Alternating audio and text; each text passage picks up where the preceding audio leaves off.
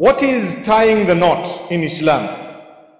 We hear the term tying the knot. It's English. It's terminology that is used. It's not because a person is tied down, for example, perhaps jailed for a lifetime, so they are now tied down. You know, they say tying the knot. Some people tie it so tight that it actually breaks. May Allah subhanahu wa ta'ala grant us an understanding.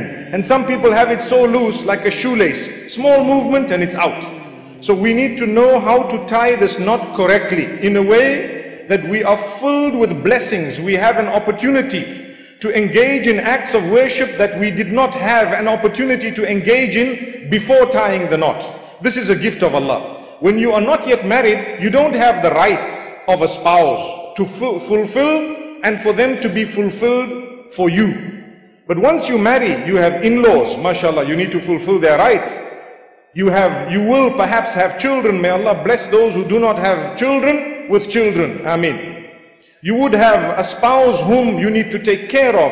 They become first class citizens of the heart. That's how it should be. Allah says, ومن آياته أن خلق لكم من أنفسكم أزواجا لتسكنوا إليها وجعل بينكم مودة ورحمة إن في ذلك لآيات لقوم يتفكرون From among the signs of Allah subhanahu wa ta'ala is that He has kept for you from amongst you your spouses or a spouse. And Allah says subhanahu wa ta'ala, in order that you may achieve from your spouse mawaddatan wa rahmatan. You will perhaps, Allah has blessed you with, Allah has instilled in the heart love and Allah has instilled mercy. This is what should be a result of a nikah, a result of the officiation of the marriage in Islam. I'm supposed to feel immediate connection, such that I feel the love, I feel the mercy, I, I care for my spouse, and it should be upon the highest level. This is your spouse. With the spouse, you will have children. These children will be part of the ummah of Muhammad sallallahu alayhi wasallam. Having children is a great responsibility. Subhanallah, we need the globe to progress. Reproduction is part of the plan of Allah subhanahu wa ta'ala, which is only correct if the couple were married. May Allah subhanahu wa ta'ala bless us all. And it is our duty to be the role models for our own children to start with. Yes, it's good enough to tell our children, mashallah, this is a good person to follow, this is a lovely role model. But if we are not role models ourselves for our own children, then we are faltering. We are making a huge mistake. This is why cut out your bad habits. The fact that you are getting married, immediately you need to turn to Allah subhanahu wa ta'ala. Once again, when I say once again, I mean a mu'min and a believer should be such that throughout his or her life, he constantly turns back to Allah subhanahu wa ta'ala. The hadith says, كُلُّ بَنِي آدَمَ خَطَّاء وَخَيْرُ الْخَطَّائِينَ التَّوَّابُونَ All the children of Adam are prone to error. They make mistakes. They commit sin. But the best from amongst those who sin, you know the term khatta means oft sinning. A person who sins time and time again, meaning time and again, the person is sinning. So Allah says, a person who sins often, what would make him the best of the lot? One who repents often as well. One who turns back to Allah subhanahu wa ta'ala often. Al-Khatta is someone who makes a lot of mistakes. May Allah never make us from amongst those who commit sin with the hope of being of achieving mercy. Because sometimes when we don't understand the mercy of Allah subhanahu wa ta'ala, it can drive us to commit a sin because we don't understand it. So we say, let me commit the sin now I'm young. When I'm a little bit older, I will go for Hajj. And when I go for Hajj, I will ask Allah's forgiveness. And then Allah will forgive me. What if you die tomorrow before you went for Hajj and before you repented? This is why a day should not pass by without you asking Allah's forgiveness. Oh Allah, forgive me. I am human. I am weak. Ya Allah, grant me goodness, grant me forgiveness, be pleased with me, strengthen me, grant me the strength to obey you, make it difficult for me to sin. Make the dua. And you will find it will become difficult for you to sin. Oh Allah, create a barrier between me and sin. And oh Allah, whenever there is a good deed, make it easy for me. Make the dua from your heart. You will find that inshallah, there will come a time when you will be able to stay away from sin with ease. You're asking Allah for help. Yes, it is in the hands of Allah. Allah's given you the capacity. But at the same time, the acceptance to do what is right also lies in the hands of Allah subhanahu wa ta'ala. So there are rights that are to be fulfilled of a spouse. Before you were married, you didn't have the spouse. So perhaps you didn't understand the obligation. I was making mention of how the children are such a great gift of Allah subhanahu wa ta'ala. But there's no point to say my daughter is gorgeous and the way you dress her is totally against the instruction of Allah. Who gave you the daughter? Who gave you the son? What type of school have you sent your child to? We are not saying you need to send your child to a school where the education is unacceptable, but something where the moral values are also held up. The child comes out with responsibility, respect, knowing how to speak, knowing how to abstain from the evil that is being uh, advertised across the globe today. We have drugs, for example, that are being pumped across the globe and some say there's nothing wrong with this drug. You know what? It's legal. It should be okay. What's wrong? It gives you a bit of a kick and so what? Well, if I were to give you a kick right now, it would hurt your bottoms. May Allah subhanahu wa ta'ala protect us. Really. May Allah subhanahu wa ta'ala grant us ease. A drug cannot be good if we are telling you that a cigarette is not good what do you think marijuana is? It's worse. May Allah subhanahu wa ta'ala forgive us. Really. If we are telling you a cigarette is not good and the doctors are saying so, the medicine is saying so, then you should learn to give it up for the sake of Allah. Perhaps that will be your entry into Jannah. You left something for what? For the sake of Allah. The problem with us, we will leave it for the sake of our health. I'm not saying it's wrong to leave it for the sake of your health. But you can convert abstention into an act of worship by intending the correct intention. I'm leaving it for the sake of Allah. And if you do that for the sake of Allah, naturally your health will also be protected. May Allah subhanahu wa ta'ala help us. So cut out the bad habits. As you are growing older, you will have children. These children need to look up to you, my dad, my mom. But daddy is still busy doing things he's not supposed to do. Dad is still a child. He needs to grow up. Subhanallah. 30 years old and you find people saying, grow up, man. Grow up. I'm grown. I'm fully grown. Grow up in your head, in your mind, in your character, in your conduct, in your deed, in your relation with Allah. That is growing up. Otherwise, to grow like wild grass, that everyone, it happens with everyone. My son, 14 years old, taller than me, mashallah, he's grown up size-wise. Mashallah. But whether that is a wise size, I don't know. May Allah subhanahu wa ta'ala grant us goodness. This is something important. Today they are taller than us. One wonders what they are eating and what's happening. Well, it's us who are buying the food for them. I always used to say, are you sure there is no fertilizer in your shoes? Something's happening, you know, they shoot up far taller than us. May Allah subhanahu wa ta'ala bless us. What a big responsibility. If you're not prepared to spend time with your children, why did you have children? If you're not prepared to spend time with your wife, if you're too embarrassed to take her somewhere and to spend time with her, quality time, why did you get married? Why did you waste somebody's life? If you don't want to talk to her correctly, why did you marry? Why did you take someone else's daughter? Subhanallah. This is someone's child. The same applies to the females. If you really did not want to speak properly to your husband, why did you marry? You should have been honest. You should have been upright. You should have said so from the beginning that look, I'm marrying you, but to be honest with you, I will just look at you without talking. May Allah help us, really. You need to smile and the smile is an act of worship when it comes to your fellow Muslimin, you know, your brethren. You smile, you break into a beautiful smile, mashallah, you know, you smile. Imagine if a smile is an act of worship when it comes to fellow human beings, what about when it is your own spouse? It is a far greater act of worship. You need to show your teeth to your spouse. And when you grow older, you can show your dentures too, mashallah. Really. Subhanallah. For as long as you smile, and you know, you just smile, look at them, admire them from top to toe, look twice, thrice. She is not a woman whom you need to lower your gaze from, but you don't look at her. Allahu Akbar. But the others, we look at them head to toe, head to toe. And we go to the sheikh saying, that was only one gaze. I didn't look away. Not yet. But your wife, whom you are supposed to praise, you're supposed to tell her, darling, you're gorgeous. You know, you are, mashallah, figure like a trigger. The other day we used the term, aerodynamic mashallah. You know subhanallah beautiful. You see the shapes of the motor vehicles are changing every year. Subhanallah. May Allah bless us. We will praise the shape of the new C class and say wow that's a baby S class. I'm sure you know what I'm talking about.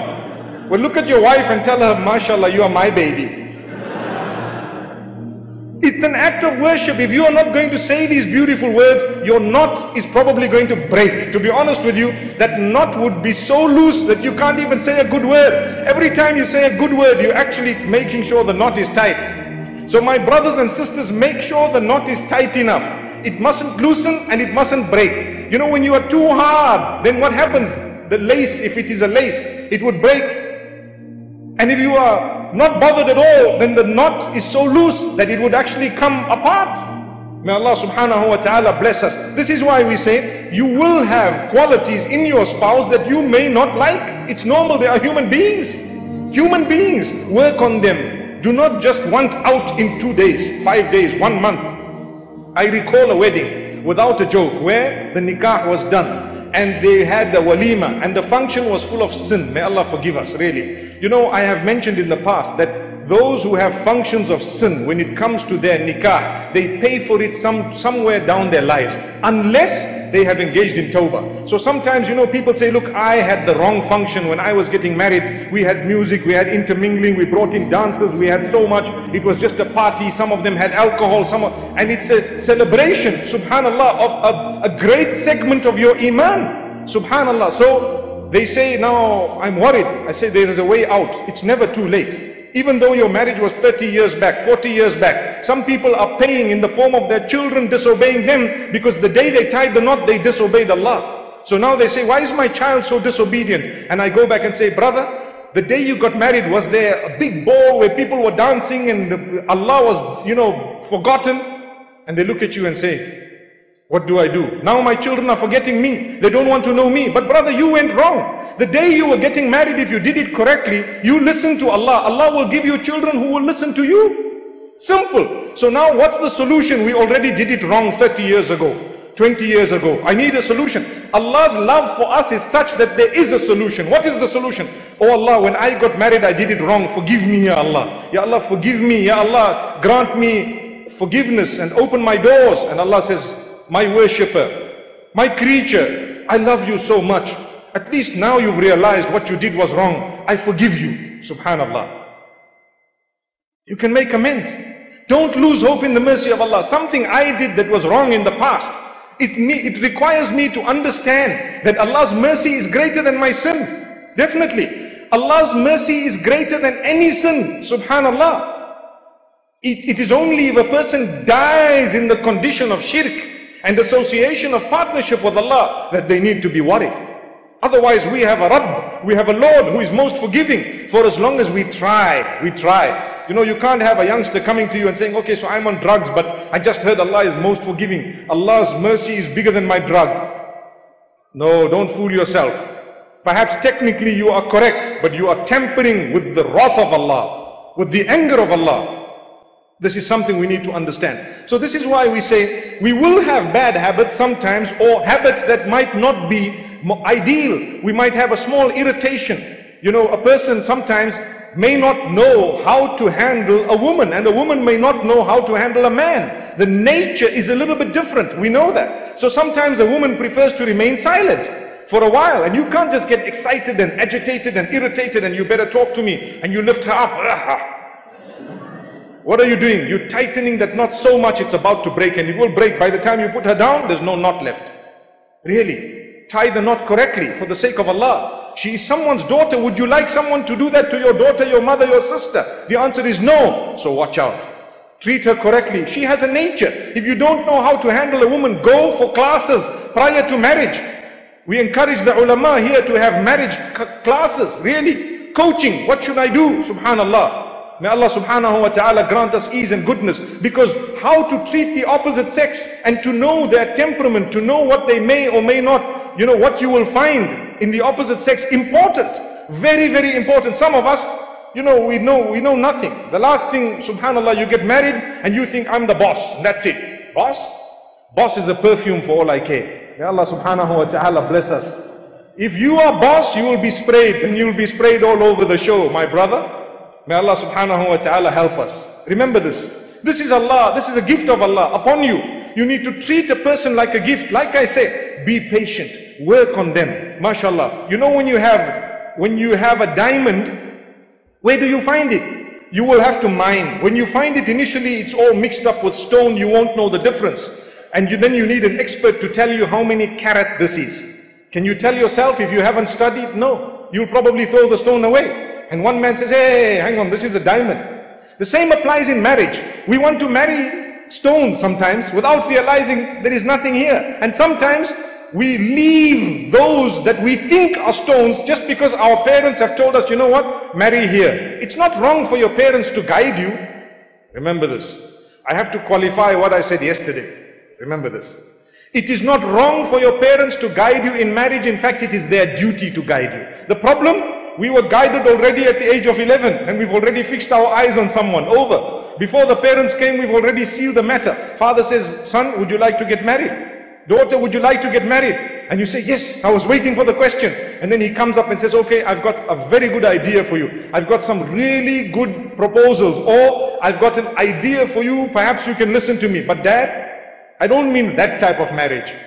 Why? I've got someone in my own mind. Okay, in that case, dad, you did not involve yourself correctly in the life of your child. So your child has made big decisions without you you are also to share the blame. Do not deny it. If you had a powerful friendship with your child, the minute he met or she met the opposite sex, he or she would come home that day and say, Dad, you know what? I met someone. And you say, Watch out, be careful. You need to know this and know that. You are able to talk to them. The problem with us, no communication. Child comes from school. We don't even ask, What did your madam say? You know, what did the teacher say? What happened at school today? Nothing. He is scared to even sit on the same table as dad because dad is sitting there. You don't know how hard I work to send you to school. You don't know how much money I have spent. You don't know I have sweated my backside off. He'll probably say, Dad, get up, let me see.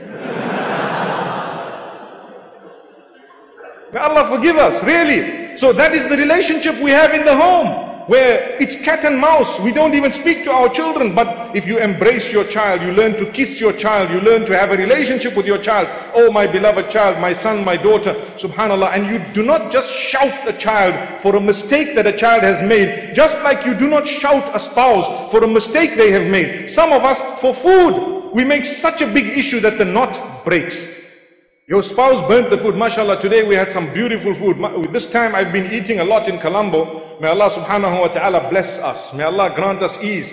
You know, I was thinking, may Allah subhanahu wa ta'ala give us the food of Jannah. One wonders if there is such beautiful food. What about Jannah? What will there be? Subhanallah. In order to get there, you need to make sure you are the best to your spouse. خَيْرُكُمْ خَيْرُكُمْ لِأَهْلِهِ The hadith says the best from amongst you are those who are best to their wives.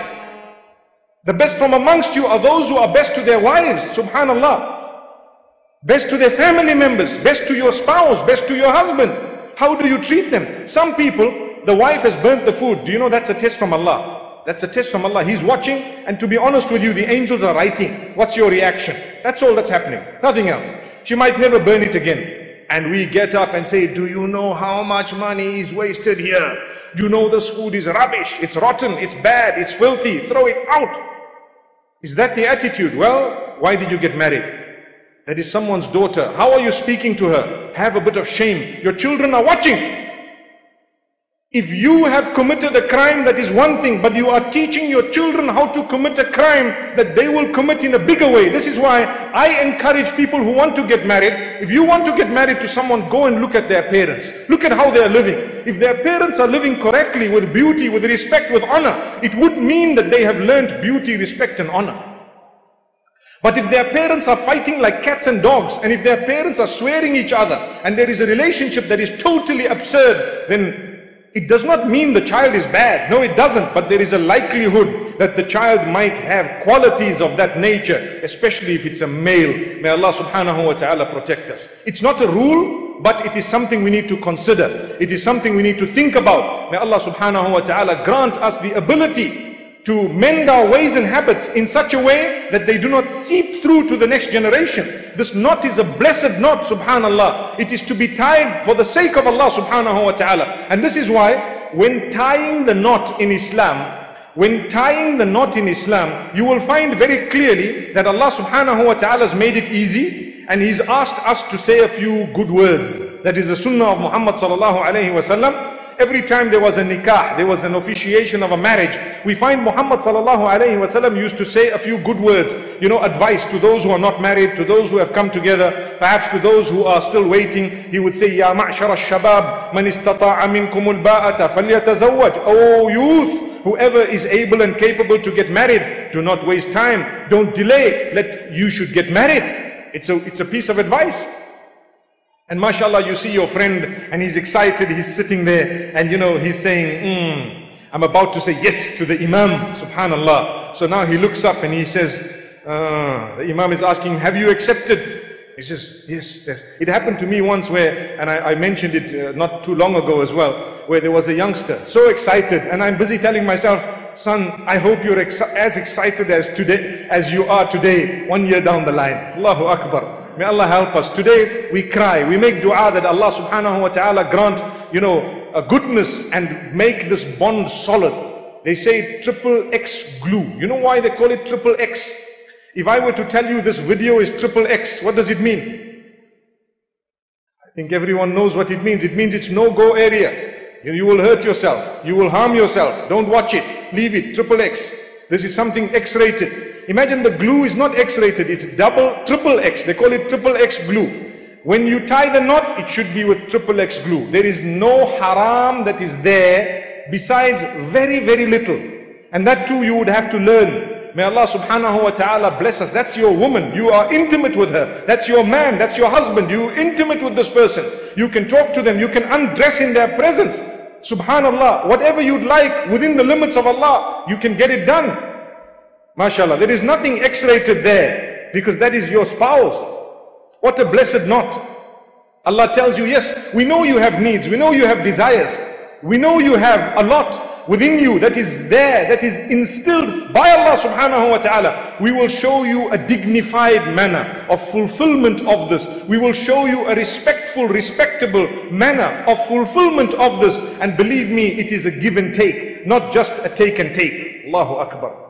It's a give and take. People sometimes think that, you know, my wife should do as I say. No, sometimes you should do as she says as well. Where you are wrong and she is right. She has the right to correct you. In fact, it is her duty to correct you. You are the spouse. She will earn Jannah if she corrects you, getting you up for salah. Don't just think I'm a, I'm a husband.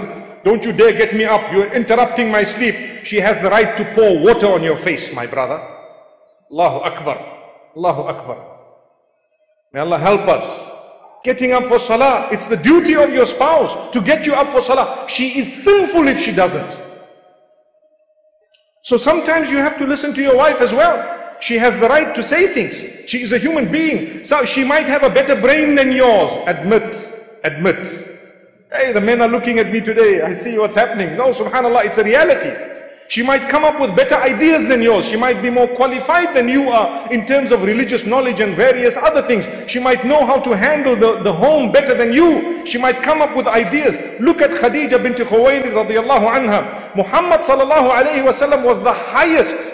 No competition, no debate. Like we said moments ago, never ever a bad habit or an evil quality from the beginning all the way to the end.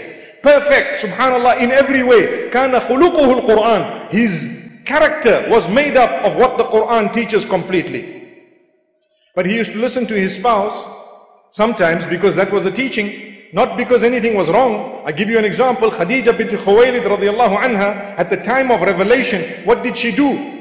When he said, Zammiluni or Dathiruni, you know, cover me, envelop me, she embraced her husband and she offered support. This is why at the time of difficulty, offer your spouse support. Either way. Husband to wife, wife to husband, offer her support. You don't have to say, listen, I got nothing to do with this. I'm out of here. Subhanallah. That's your spouse. You offer them support. You tell them, look, don't worry. She says, Kalla wallahi la Allahu abadan. Never. Allah will never let you down. Allah will never disgrace you, never embarrass you. You are such a good man. How many of us can tell about our wives or our husbands that they are such good men or women and tell it to someone else altogether. Meaning, are we able to do that? You might tell your wife, oh, you're so lovely. And, and you're saying, ooh, it was quite hard to say that. be genuine, be honest. Look at the, look at how lovely she really is. It is character, it is conduct, it is sacrifice. Khadija bint Khuwaylid radiallahu anha says, I have an idea. Let's go to my cousin, this Waraqa bin Nawfal. Let's go to him. Perhaps he will come up with something. Perhaps he will know. So she thought up ideas. Muhammad did not have to listen to her. Subhanallah. But he walked with her. He went out with her. He heard. And subhanallah, he came back. What do we learn from that? We are not like Muhammad sallallahu alayhi wasallam. We are not prophets of Allah. We are nowhere near. We are imperfect mortals. We are imperfect human beings who make mistakes every day. But we don't want to have, we don't want to lend an ear to a spouse whom we've married, subhanallah, whom we've actually married. And she's just giving us an idea to say, look, I believe maybe you should resolve the matter this way. May Allah subhanahu wa ta'ala help us and may He open our doors. My brothers and sisters, the responsibilities within marriage are such that it is, it has become today like walking on a tightrope. That was not supposed to be the case. But today it's like walking on a tightrope because we have technology that comes to interfere with the knot. We have the environment that comes to interfere with the knot. We have so many things that come to interfere with that knot. So how you use your phone would actually break the knot or tighten it thoroughly, properly. Meaning it would reinforce it. If you have the correct use of your mobile phone, correct use of your eyes, that would also strengthen your marriage. Imagine, imagine there is a nude woman walking past and like I said, figure like a trigger. Do you know why they call it like a trigger? You know, you pull a bit and you are shot. Allahu Akbar. May Allah subhanahu wa ta'ala forgive us. Really. Tamper with it and the bullet goes straight through. Allahu Akbar. So remember, imagine if there is a woman who's walking past and she's absolutely nude. Your wife is with you and she's watching. And you look down and you don't even look up and she looks at you and looks there. Wallahi, she will feel in her heart, hey, this man, mashallah. You know, he, and then you look at her a little bit later and you say, mashallah, darling, you're gorgeous, mashallah, gorgeous. Today we heard a new word, aerodynamic, mashallah. Wow. You know, BMW does not stand for be my wife, no. May Allah subhanahu wa ta'ala help us. May He bless us, really. I hope looking down was out of the fear of Allah and not out of the fear of your spouse. May Allah bless us. So we cause it. You will never get to the woman who walked by, but you said a lot about yourself. You made a huge statement to your spouse that, you know what? I don't look at you this way, but I. Allah forgive us. Really, Allah subhanahu wa ta'ala strengthen us. May Allah subhanahu wa ta'ala protect us from temptation. Don't think you are too grand and powerful and strong. Anyone can fall. Ask Allah to help you, to protect you from temptation.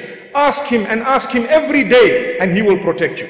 اللهم ادفع عنا الغلا والوبا والربا والزنا والزلازل والمحن وسوء الفتن ما ظهر منها وما بطن. The dua of Muhammad sallallahu alaihi wasallam includes the dua, oh Allah, take away from us, keep far from us certain things, inflation and this and that, and one of them is zina.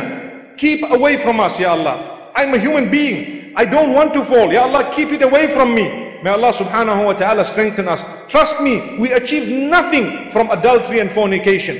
We achieve lots of goodness through our own relations, our spouses, our children, mashallah. Spend time at home. It brings me to another point. We get married, we have kids. We have a function of this nature, mashallah. And you know, mashallah, it's an important function. There are so many brothers and sisters who've attended in your thousands, mashallah. May Allah bless us all. Like I say, may He gather us like this on the day of Qiyamah, inshallah, in the right camp, and may we be granted Jannah. Ameen. So what happens? We come, and your friends phone you. So, are you going? Say, I'm going. Okay, let's go together. Who is a real man? Is he who can say, sorry, my buddy, I'm going with my wife. That's a man. The others are all little, they, they are scared of their friends and losing their friendship. They want to be called men when they are not men. A true man is he who knows how to treat his family. That's what a true man is. Are you a true man? Really, if you want to know, it does not mean how much money you have. You know, today I was sitting, I was seeing people and subhanAllah, I learned a lot. And I learned, one of the things I learned is that a rich man is not he who has a lot of wealth. No. You got a lot of wealth. That is not the gauge of whether you are rich or not in Islam. In Islam, a rich man is he who can spend that wealth. So you judge a person based on how much he has spent, or he will be judged based on how much he has spent, even by Allah subhanahu wa ta'ala. What's the point of amassing, amassing, amassing? What's the point? I haven't yet spent it. Let me earn my paradise. Let me spend left, right and center, subhanallah. That is a true wealthy person. So similarly, a true man is he who knows what a family is all about. Allah made you a man and made the other a woman in order for you to get together in marriage and be able to reproduce for the sake of Allah in order to increase the ummah of Muhammad sallallahu alaihi wasallam. What's the point of reproducing like popcorn when you don't even know what your children are doing? Allahu Akbar. You don't know. You have no time. I've got money and that's it. And let me just have as many kids as I want. So we've got 25 kids. None of them know what Islam is all about. What was the point? So this is why quality is far more important than quantity. Remember this. And if you're a real man, you will know that your spouse comes first. Really. First as in the human beings that are around you. So much so that if there is politics between your mother and your spouse, you will not disrespect your mother. But some people misinterpret the term kindness to the mother as meaning obey her even when she is wrong. Your mother is a human being, a lovely human being. Yes, we did say you serve her. We did say you will be kind to her, mashallah. But when she's making a mistake, you must be a man to say, Mom, I love you so much. But you know what? This is wrong, man. You cannot do this, Mom. Please don't do this. You are messing up things. And don't go and say, my wife complained to me about you. Because now you're messing a relationship. You're not a politician. Learn from the politicians around you, mashallah. They know how to play the politics. Really, you need to be a politician to be able to hold that knot properly. You need to be one. You need to be able, like I said, it's become a tightrope.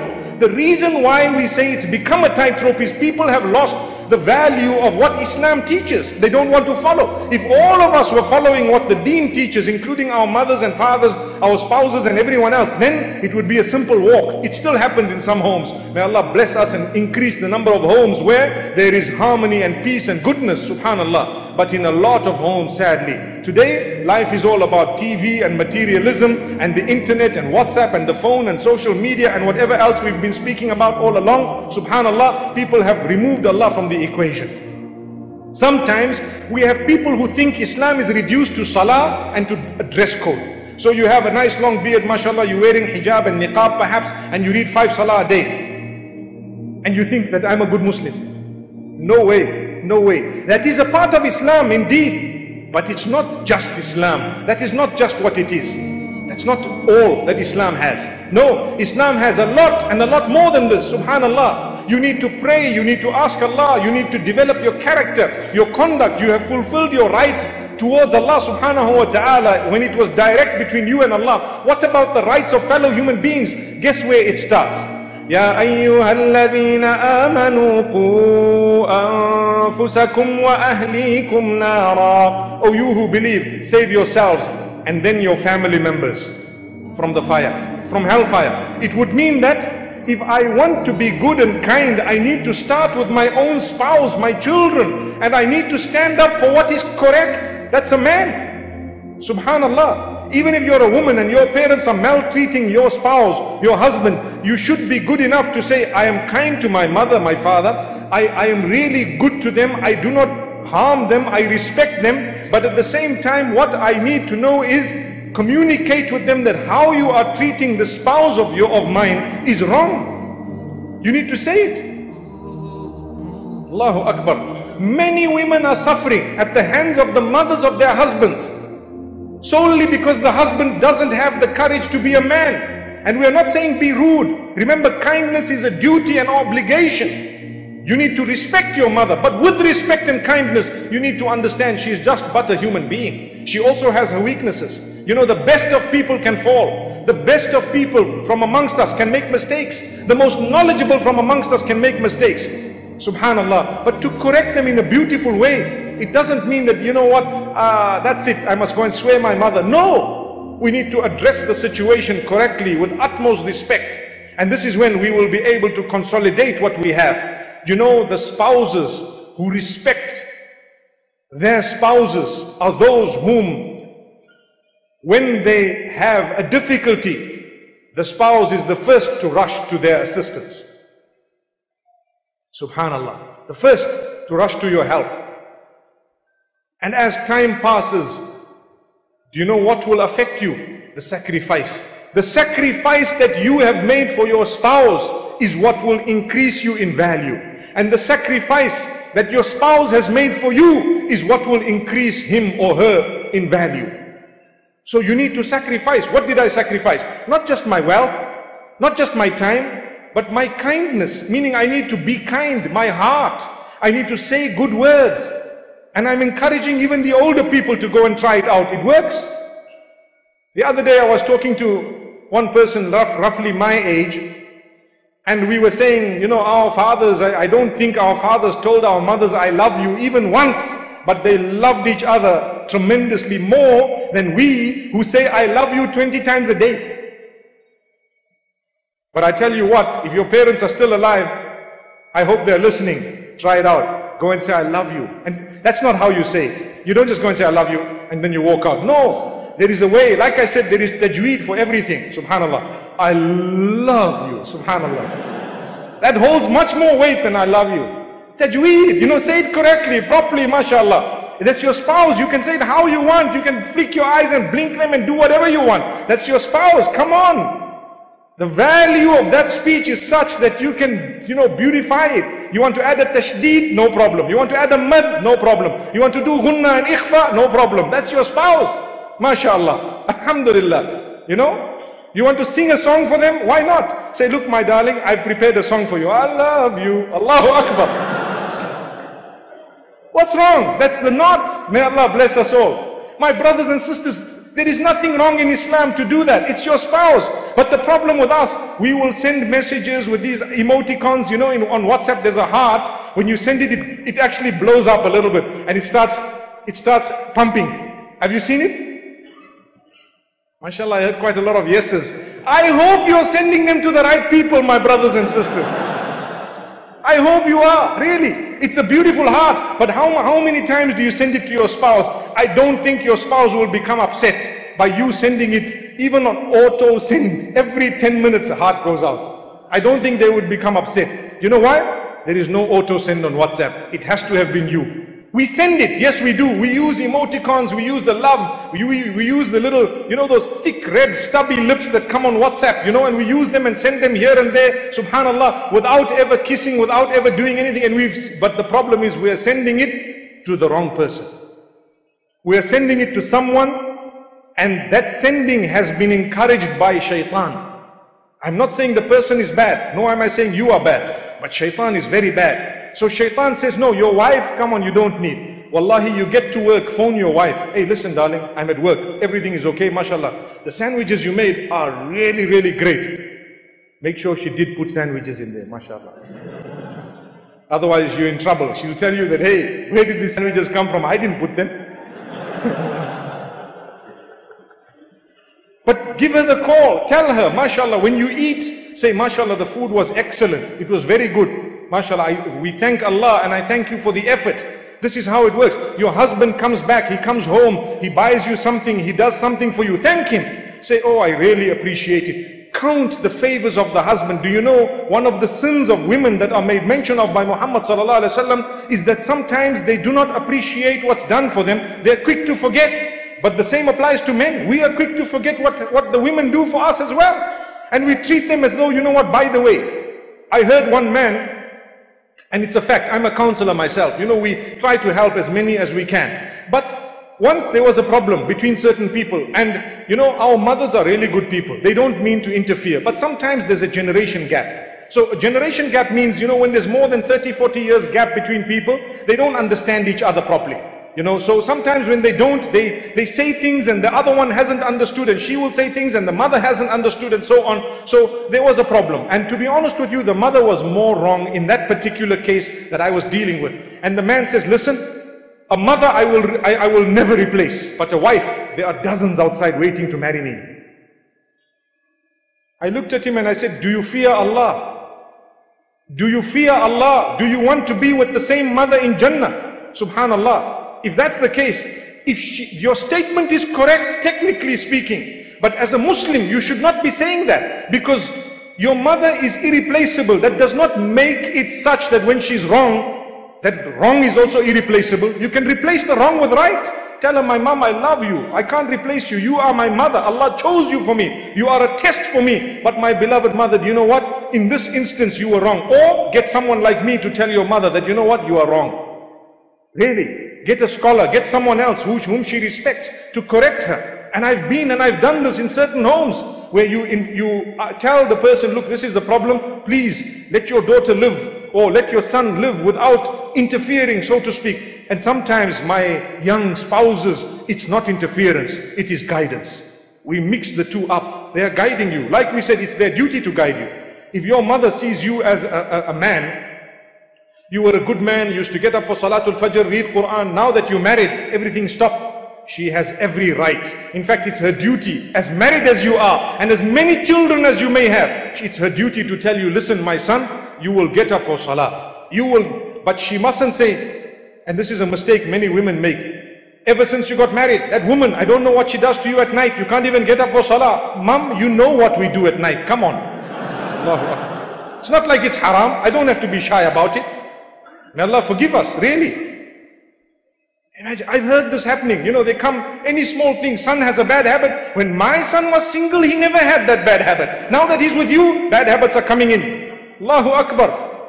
May Allah forgive us if those are words that are cutting, those are remarks that are unwarranted, those are remarks that are not correct. A Muslim should not be saying that. You make dua for your son. Oh Allah, guide my son. Oh Allah, help my child. Allahu Akbar. Oh Allah, help me create a love between me and my daughter-in-law. Make the dua. Oh Allah, help us. Like this, anything goes wrong, you know, the mother, the nose is twitching sometimes. May Allah protect all our mothers. The wrong thing would be for her to say, I think my daughter-in-law is doing some magic on me, my nose is twitching. Your nose is twitching, big deal. My nose twitches.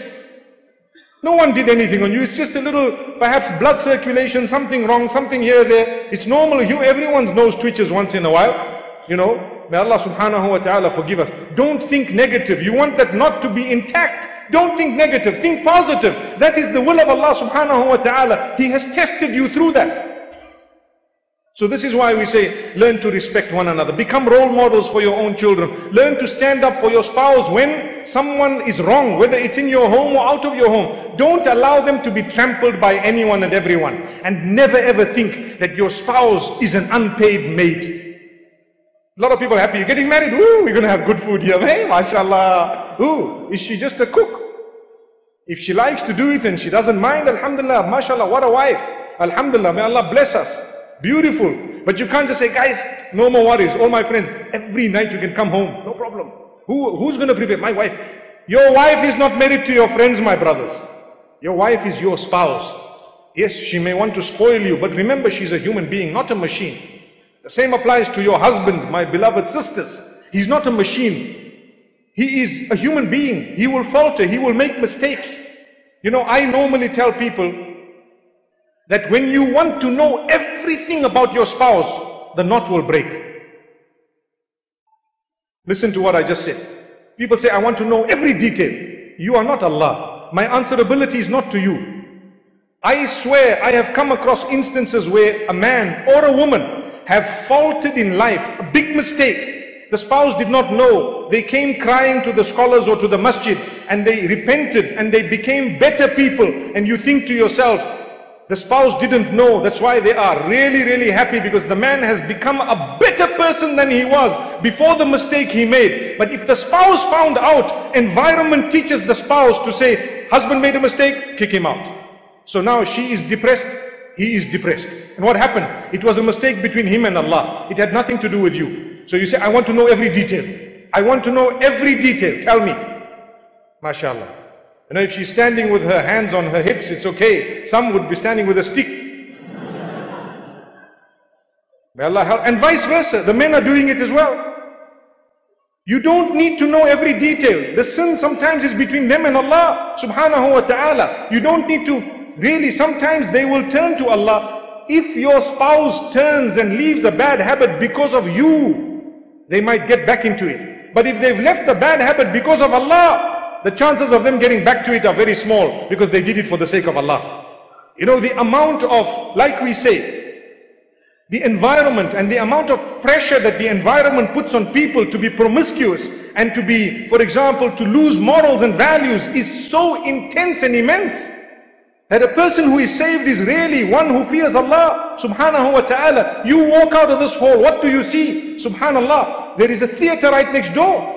May Allah subhanahu wa ta'ala bless us all. A person can head to the wrong direction very easily, very quickly, very tempting. The lights are flashing. It's Christmas season, end of year and so on. And the Muslimin, sometimes you find they are the ones who go to the Christmas parties.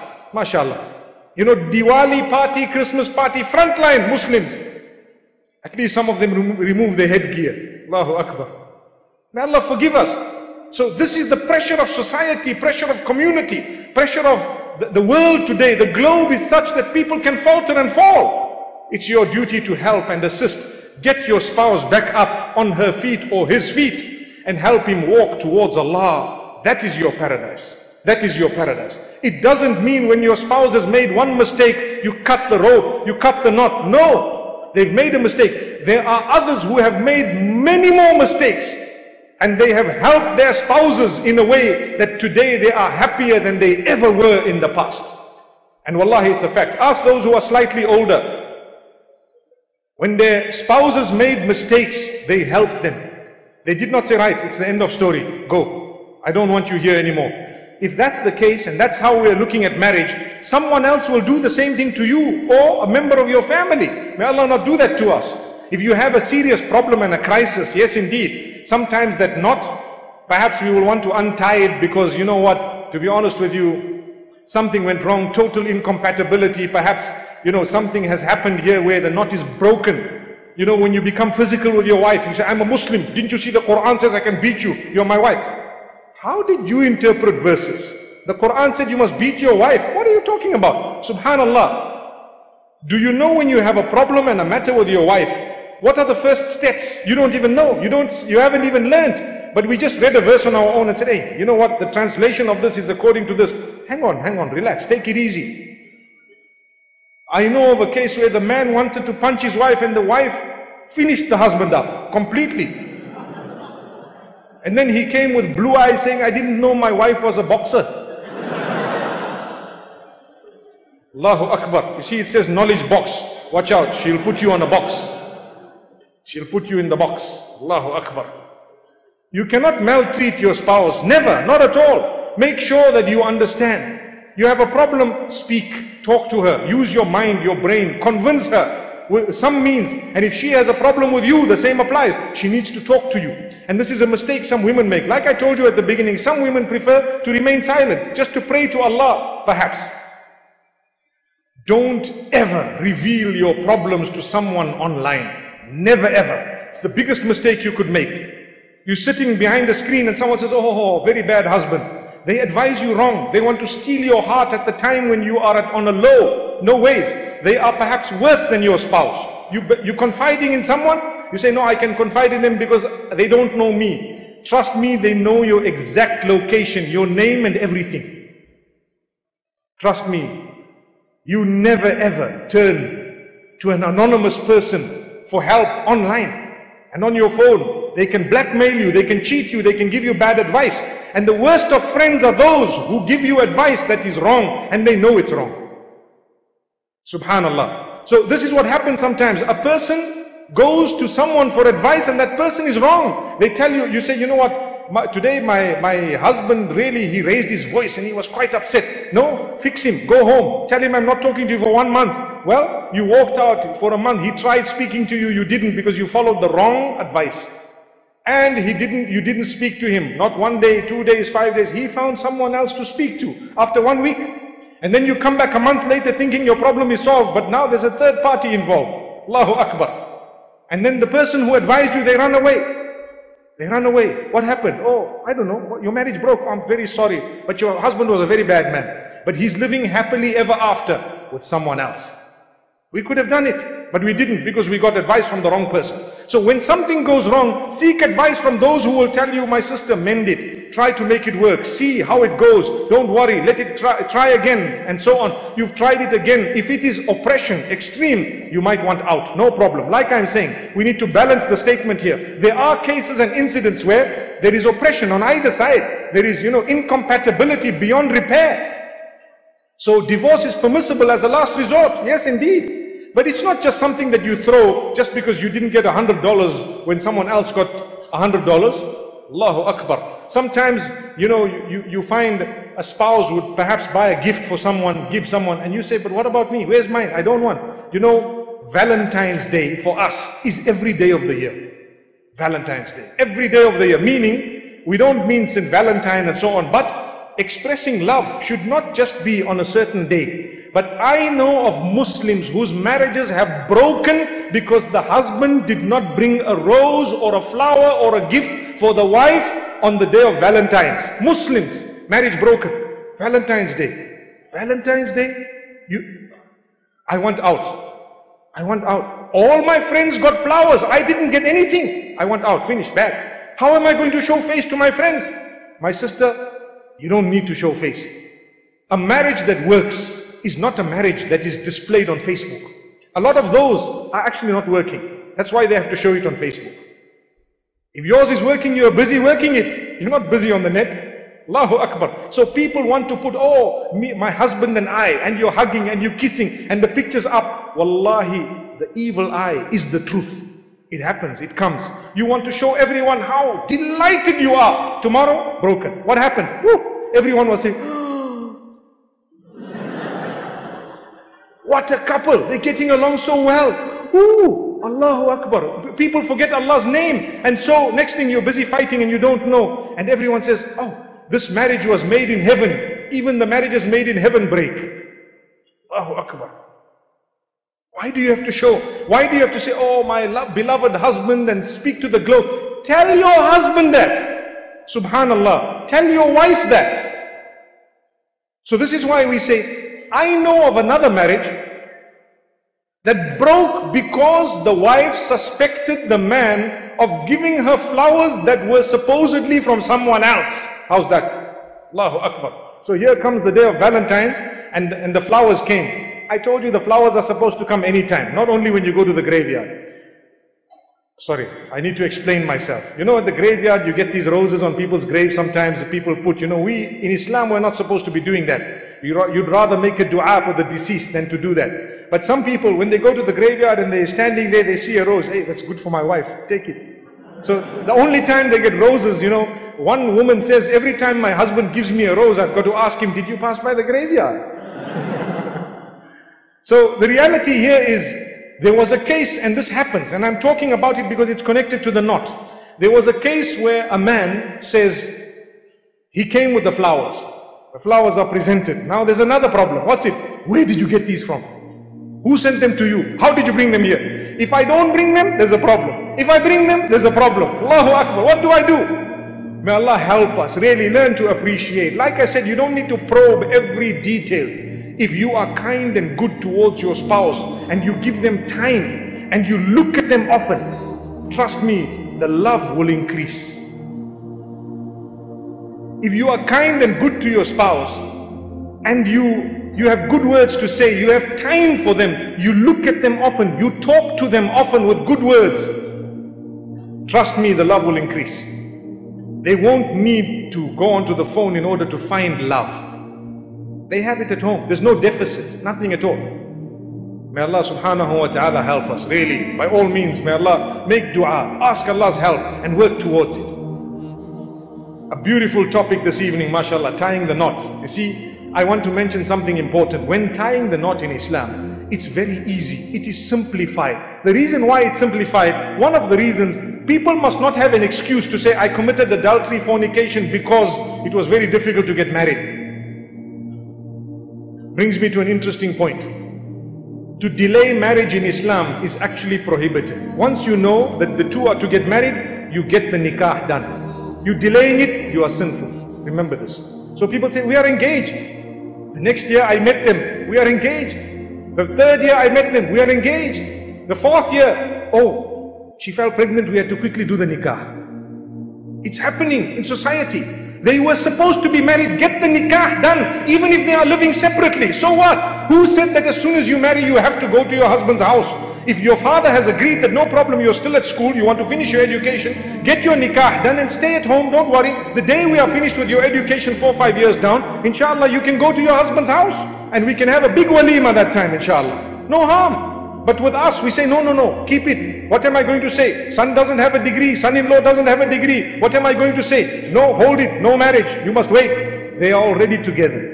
They are already together. And who is accumulating the sin? You are a part of it a part of it. I'm not saying the entire sin, but you are a part of it. Why? You are a stubborn parent. That's what it is. Stubborn, really stubborn. Take that out. Learn from the sunnah of Muhammad where he teaches us when nikah is confirmed, get it done. When the time of salah comes, fulfill it. When the janazah happens to be in front of you, get them buried. You don't delay a janazah to say, you know what, uh, let's just wait for one, two years, put him in the mortuary. Why? You know, more people will come, you know. What are you talking about? That's what you're doing to your daughter. That's what you're doing to your son-in-law. May Allah forgive us.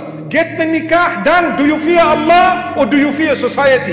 Get that nikah done. Don't delay. The two want to get married. Come on. Let it happen. And they don't have to live together. Like I said, they, tomorrow when he's got a house, he can come ahead. MashaAllah. Qualification, degree. Subhanallah. Some of the happiest marriages are to those who have no degree. Trust me. Some of the happiest marriages are to those who have no qualification. The man treats your daughter like she is a queen. He carries her on his back and walks around, mashallah. A guy with a degree. One wonders, I don't want to say won't do that, but one wonders what he does. May Allah subhanahu wa ta'ala forgive us. You're talking to me like this, I have a degree. Mashallah. PhD. PhD. You know, the, he'll tell his wife to call him Dr. So and so. I have a PhD. You don't address me like that. May Allah forgive us. Really. You look at the man, if his deen is good, his character is good, reasonable, responsible person, get him married. How many of our parents had nothing when they got married? 30 years later, they developed wealth. Today, the same parents want a husband who's already rich. He must be rich from the beginning. Give him a chance. Come on, man. When you got married, you couldn't even wear shoes. You only used to move around in slippers. Allahu Akbar. And it took you 20, 30 years to develop wealth. And just because you've got the wealth, your daughter wants to get married. It's not like anyone is shoving it down her throat. And you are just saying no because perhaps the man doesn't have something. And who said? Allah says, إن يكونوا فقراء يغنيهم الله من فضله You've chosen the right spouse. If the person is poor, Allah will bless them with His virtue because Allah is the one who owns sustenance. How many people have got their daughters married to wealthy people? Ten years down the line, they lost everything. So it's not to do with wealth, it's to do with the right person. And this is why the hadith says there are several things people look at. Some look at wealth, some look at looks, your choice, yes, you must look at what the person looks like. Definitely. You have to live with them. At the end of the day, you have to be intimate with them. You're not going to go with those masks that they give out on Emirates and, and then, you know, be intimate with your spouse. No, you want to look at them. You want to see them. Yes, so you must be able to like your spouse, definitely. But your decision must not be based solely on looks. There must be an overriding factor. What is it? It's not got to do only with the lineage. No, you can't marry there. They're not from our family. They're not from our tribe. They're not from our caste. They're not from this side. They're not exactly, you know, so and so. No. Are they Muslim? Are they decent people? Do they have character? Let it go. Allahu Akbar. Let it happen. Do not be a person from the pagan days of ignorance. You know, Bilal ibn Rabah and his brother, radiallahu anhuma, they got to the community and they said, we are whom you know we are if you are going to allow us to marry your daughters, Alhamdulillah. If not, Allah will provide. Wallahi, they looked. Bilal ibn Rabah, a man from Africa, subhanallah. A man whom the Prophet ﷺ said, I heard his footsteps in paradise. It shook the people. They immediately got them married. That shows us that it's got to do with the nobility of a person. Look at the status of a person. You know, I've heard of people say, no, oh, this man is a little bit too dark for my daughter to get married to. Come on. You can be as dark as charcoal, but if your daughter is up in the air, Alhamdulillah, she's happy. She's excited. What's the point of marrying the most handsome man, the wealthiest man, and your daughter is crying every night and she's cursing you. My dad did something very bad, I'll never forgive him. When you die, you are receiving the sin of what happened. Allahu Akbar. Why should that happen? This is the reality of why knots are being broken today. We want to tie it correctly. Well, understand the hadith says, yes, you may look at what she looks like. You may want to look at her status, her lineage. You may want to look at everything. Those are not the deciding factors. The deciding factor is deen. فَظْفَرْ بِذَاتِ الدِّينِ تَرِبَتْ يَدَاكَ you want to be successful. You want victory. You want success in the dunya and the akhirah. Then succeed by marrying the one who has the consciousness of Allah in her or the consciousness of Allah in him. That is success. May Allah bless us all, really. And sometimes we ignore that the environment has actually affected our child.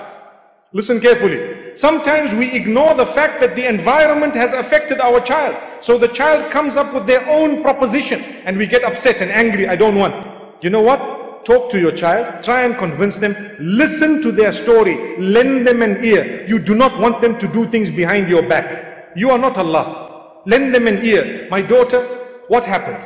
How do you know this guy? Don't just get angry. I will fix you up. I'm going to damage you. Be careful. No way. That's not how you talk to your daughter. Because tomorrow when she marries, what will happen? What example have you laid? You speak to her with respect. She is a human being. Before she belonged to you, she is and was Allah's, always Allah's. You will perhaps die leaving her behind to live for decades after you. She belongs to Allah. Inna lillahi. The Quran doesn't say inna li abaina. Inna lillahi wa inna ilayhi raji'un. We belong to Allah and unto Him is our return. The hadith didn't say we belong to our fathers and our forefathers and unto Him, unto them is our return. No. Yes, we may, we have to be kind. Allah chose our parents for us, indeed. But remember one thing, you speak to your children, you listen to what they have to say. They will then tell you, you know, dad, I went to the varsity. And I saw a guy reading his salah all the time. And I saw this and I saw that. And for some reason, somehow I developed feelings for this young man. Please give him a chance. Talk to him. You say, okay, let me talk to him. I am not encouraging this type of behavior, but I'm saying it is happening. Face it. If you have not involved in the lives of your children a lot, then this type of thing will keep on happening. But those parents who've involved a lot, their children tell them a lot of what goes on in their lives. Alhamdulillah, they will be able to guide their children. You know, if your son says, hey, today we saw the uncle was smoking and he threw the stub on the floor and a few of us picked it up and we were checking it out. And you look at him and say, son, be careful, watch out. That's not what is, what's supposed to happen. Perhaps he will talk to you more and more. But if you tell him, what? And you lift him up and you pump him one, wallahi, he's never going to talk to you again. He's never going to, because he knows my dad is mad, man. Really, you tell him something, he'll, he'll destroy you completely. He's punched me in my, my, my belly and so on. Some of the countries people go and report their parents. May Allah forgive us. So, this is why we say, if the person, if your daughter has come up with something of this nature, perhaps you must listen to what they have to say. Meet the man to talk to him. He might be better than all the options you've ever thought about. It doesn't mean that he, she has to marry the son of your business partner. No. Marriage is not a business deal in Islam. Not at all. People say, no, no, no, no. I thought this son must marry. Those are the marriages sometimes they don't work because you know why? The girl was forced, you forced your daughter to marry someone whose father forced him to marry her. So they were both forced on either side. They sleep like a divorced couple from day one. What's happening? Whose fault is it? Both parents. Literally, silly people. People who didn't think. People who thought that, you know what, I can do. And, and this is me. And Allah's given me the right. It is haram, haram, haram. It is prohibited to force your daughter to marry someone. Totally prohibited. You cannot force. You can suggest. You can say, look, what about this and what about that option? She has the right to say, I do not want. It's over. Did you hear that? She has the right. She is entitled to say, I do not want. And you have to surrender because she belongs to Allah before she came to you. Same applies to your sons. No forcing. And you know, a man is he who can say to the father of the girl that, look, I'm being forced. Or the girl says, I'm being forced. Speak up. Don't come up 10 years down the line and say, I never wanted to marry you. I was forced by my dad. It's happening a lot. Don't do that. Say it in advance. That look, I have a problem. I'm not ready to marry. Please, they are forcing me to do this. You help me. May Allah subhanahu wa ta'ala help us all. My brothers and sisters, it's a vast topic. If you notice, I have tried to tackle the problems of society, what we are facing across the globe in the Muslim Ummah. We have this crisis. People have not understood. I give you another example. Someone reverts to Islam. We get very happy, don't we? A person reverts to Islam. MashaAllah, this guy from Germany has accepted Islam. Alhamdulillah. We are so excited because he became a Muslim. Do you know that they are finding it very difficult to get married? Because of our backwardness. No one's marrying because when it comes to marriage, no, no, no. But he is cleaner and purer than others who've committed sin and so on. Inna al-Islam yajubbu ma qabla. You look at him, if he's dedicated and he's good and his, his ideas are correct and his perhaps beliefs are, are within the line and so on, you, you, there is nothing wrong in offering him your daughter. Nothing wrong. In Islam, it can happen either way. But no, he's a revert, he's Caucasian, or revert. These people were Hindus before. Brother, your great grandfather was a Hindu as well. Allahu Akbar. What about that? These people were Buddhist. So what? They accepted Islam. We have a, a, crisis in the Ummah. That is a huge crisis. So many people who've reverted to Islam, they are stronger than born Muslims. And we say, no, I won't want my daughter to marry here. We are not saying you need to shove it down anyone's throat, but what we are saying, if there is an interest and if the person is a candidate, let it be. So what? Nationality means nothing. Subhanallah. May Allah subhanahu wa ta'ala forgive us. The world is now a little global village. You know, people are in touch with, with each other and they promise each other to marry if you were, and I'm repeating it for the third time, if you were close enough to your child before they promised someone that they would marry them, they would have told you, they would have asked you, they would have involved you. But because you were too distant with your friends and your nightlife and what else and everything else, some people are too distant. Some people are so religious that it becomes sacrilegious. You know what that means? To serve Allah subhanahu wa ta'ala is definitely something good. But to go beyond the limit to the degree that the other obligations on your shoulders, you have foregone them, you have left them. It's an obligation for you to do this and you have not done it. In that particular case, what's the point of a man who goes to the masjid and spends the whole day in the masjid whilst his family are looking at other men in order to resolve their matters and to go and buy something for them and look after their needs? What's the point? So you need to strike a balance Nobody is saying don't go to the masjid. You need to go. But you must know when you need to depart.